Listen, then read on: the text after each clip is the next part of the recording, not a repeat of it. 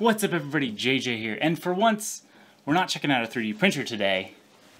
I'm reviewing my first CNC router. This is the SainSmart 3018 PROver V2. It's a new entry-level CNC machine by SainSmart, and a lot of this review is not from an experienced CNC user. This is as a beginner into CNC routing. I'm definitely way more of a 3D printing expert, so this review will be a beginner's look at CNC routing. This is a whole new field of manufacturing that I've never really looked into, and so I'm really excited to be able to combine 3D printing and CNC routing, maybe in some future projects. I have also done some laser engraving reviews, so I can kind of compare the three together. I think that can be a whole separate video once I have a little bit more experience with this to be able to compare it. But first look at this new machine. So first off, we should talk about the build volume of this machine, because that's gonna be a big limiting factor to what kind of projects you can do on this machine versus a bigger, larger, more expensive CNC router. With this one, you get 290 by 180 by 40 millimeters tall in travel. So your biggest limiting factor will be that Z height. That is bigger than the V1 in all of those dimensions, so that is a nice upgrade there. The next big difference here is this build plate. This is a big solid block of aluminum versus in the V1, it was an aluminum extrusion. This is covered in holes so you can secure these clamps in a bunch of different places. These stock clamps were a little fiddly to work with, and I think I'll just have to 3D print some extra ones but I wanted to try these out to see how good they were. And they work, they just took a while to get set up correctly. The next big upgrade between this one and the last one is around the back here. We've got a great control board on here. This is upgraded from the 8-bit of the original to a 32-bit controller inside here. It's got this nice casing that it comes in and has labeled all the ports on here. They do give you a bit of expandability if you wanted to add extra features on here. The few that come in the box, there's a really nice Z probe here that I really enjoyed using and made homing and leveling this thing very easy. I wasn't expecting to like an offline controller here. After using the laser engravers, I didn't like using their offline controllers.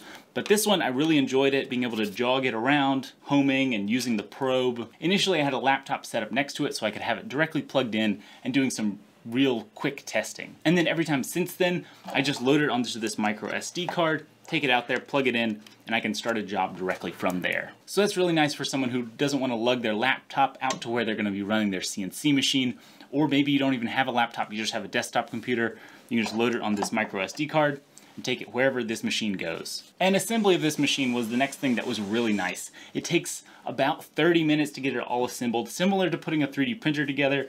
You put the side panels on, put things together just a little bit, plug in wires.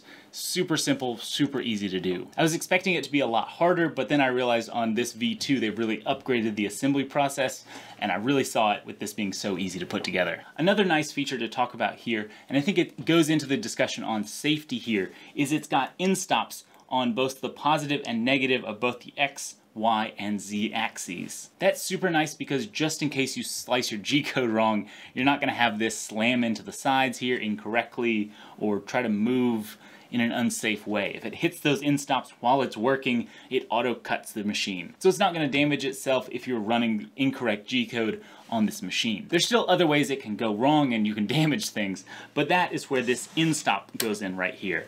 It's really nice to have an E stop, emergency stop, cuts everything off at any time. It's essential on a dangerous, fast-moving machine like this, so it's really, just really nice to have a button right there, easy to press. Another thing to think about with safety is how to keep yourself safe, and safety glasses are the best way to do that really is kind of the only thing you need safety-wise when running this machine. You do need to make sure you're back from the machine, make sure your hair is tied back if you've got long hair, loose sleeves are tied back so no loose clothing. This is going to be spinning extremely quickly. Anything gets caught in there could end bad stay away from the machine. And that's kind of all you got to think about. And it's kind of weird, I felt safer using this than I did using a laser engraver. With this, there's only this spinning spindle you got to be aware of. And I was holding a board in front of this kind of between me and it just in case. I have heard stories of small bits breaking off and so I was just worried. I kept a board there just in case something were to fly out very quickly. And so your biggest danger here is this thing spinning very quickly. On a laser engraver, on the other hand, you've got this laser that's kind of invisible. If it were to bounce wrong, hit your eye, you could be blind immediately. Also, the fumes that are coming off of a laser engraver, you need to protect yourself from. So whether you're filtering it or exhausting it in some way, it's an added layer of things you need to think about.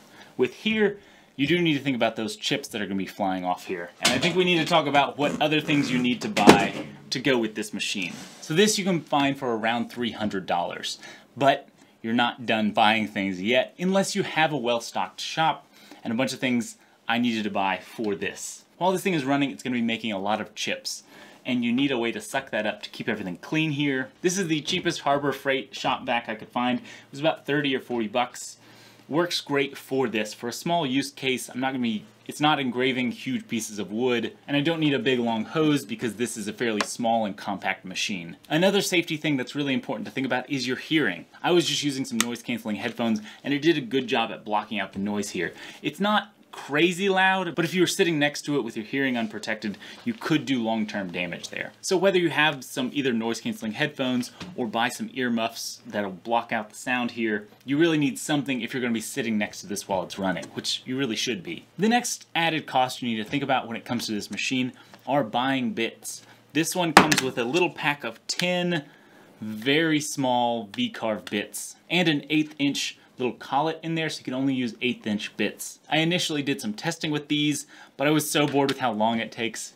They're great for really small details and they'd be amazing if you want small lettering in something, those would be great. But I wanted to do more bigger things, and so I just went ahead and bought a quarter inch collet in there and several quarter inch bits. I'm not really an expert, I just bought a little pack from Amazon that has some V bits and rounded over bits I'll link it in the description if anyone's interested. If you're an expert out there and have a recommendation for beginner bits, be sure to put it in the comments down below.